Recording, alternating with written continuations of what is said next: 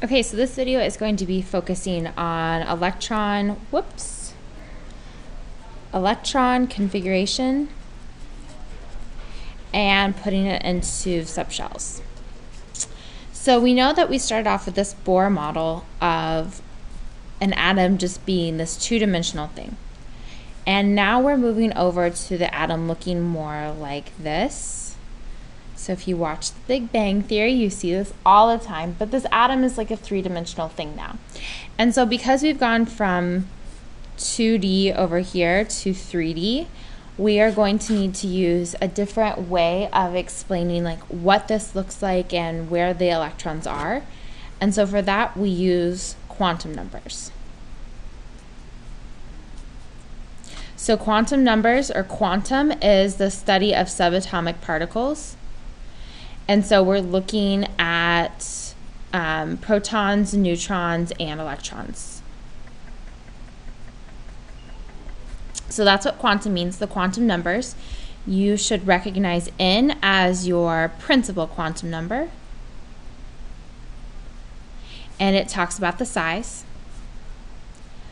L is the angular quantum number. And that's going to discuss the shape.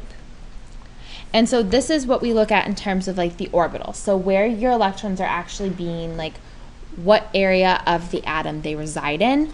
So this is talking about the orbitals, which is like the general area for electrons.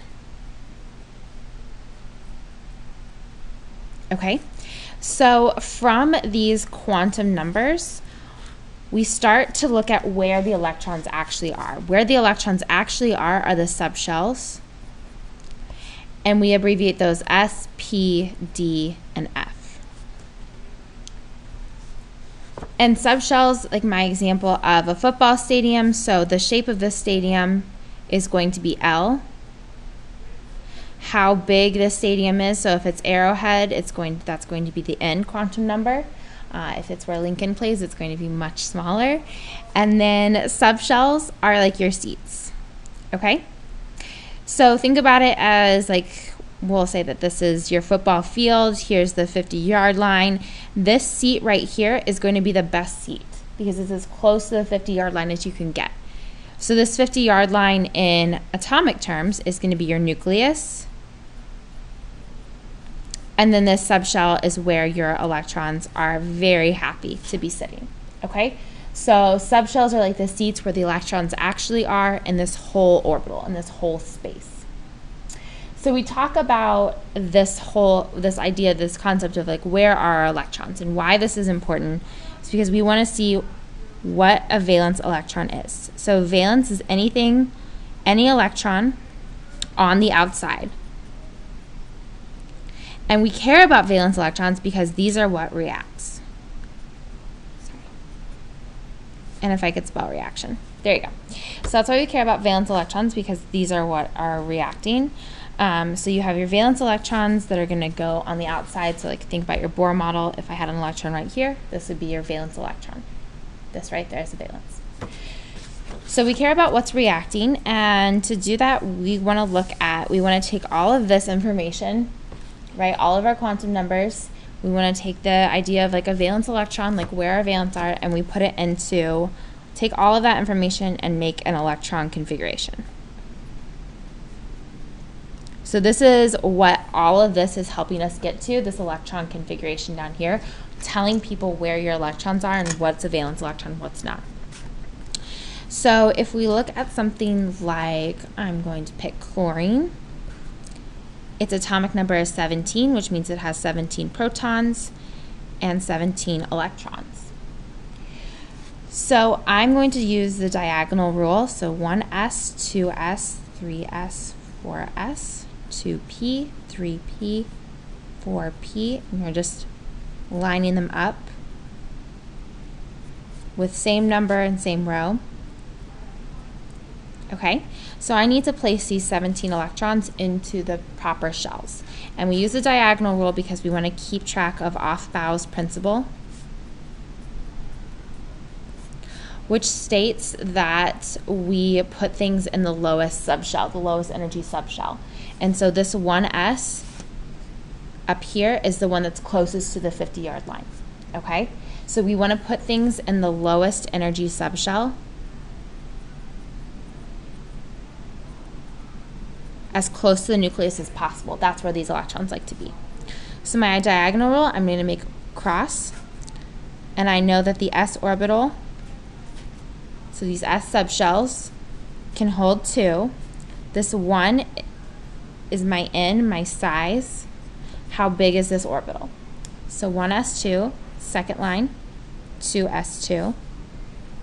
Third line, go all the way to the s orbital. Some of you were messing that up on your homework, and I want to make sure that you go all the way back.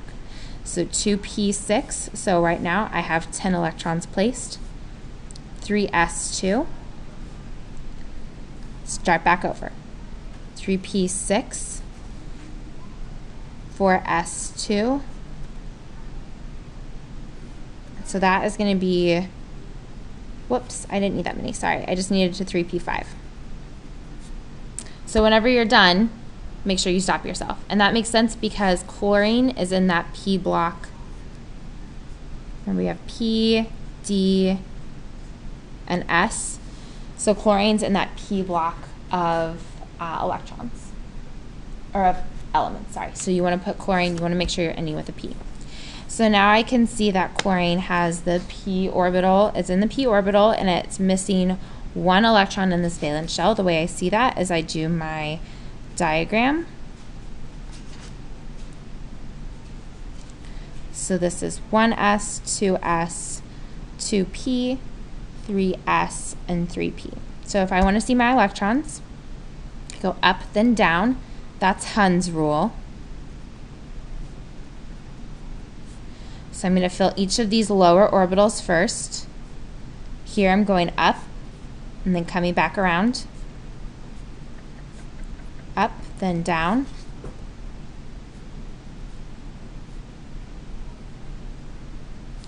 Okay, so I filled all of my electrons. I have all 17. Each of these lines is an electron. I see that I have one unpaired valence electron, so this is going to be very reactive, which makes sense because chlorine is a halogen, and we know about halogens, they're very reactive. And this is also going to be paramagnetic, because it is not, it's missing all of its pairs. So if everything had a pair in this valence shell, it would be diamagnetic. Okay, so kind of a long video, but hopefully you stuck with me going through all of what we've been talking about on Friday and Monday, and this is what's going to be on your quiz on 9-26. This will be on your quiz. So make sure you study up. Have a good night, guys.